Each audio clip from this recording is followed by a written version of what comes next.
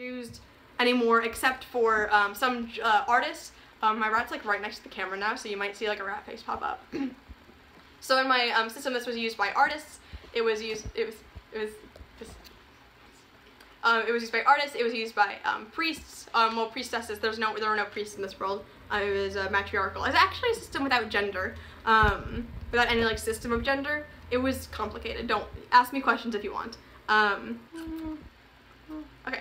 Um, it was used by, but yeah, in religious systems, um, for like, uh, re like religious purposes, because I guess I'm really, I guess I'm just really into, uh, baby, Abigail.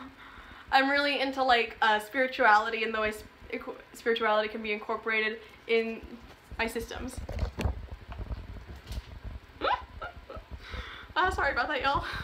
I'm not sorry. Like, that was a blessing for you. I'm really interested in just making a language that I think is neat. Again, rat incoming. It's the other one this time, too. Um, I think it'd be cool to make a language that I think is uh, neat, and I just want to experiment a bit, you know? Like, I don't want anybody to, like, like, post in the comments, like, I can't believe that you, like, have this, like, alignment system, like when, according to like this occult text, blah blah blah, you know? Um, that's literally like right there. Oh, there, there she is.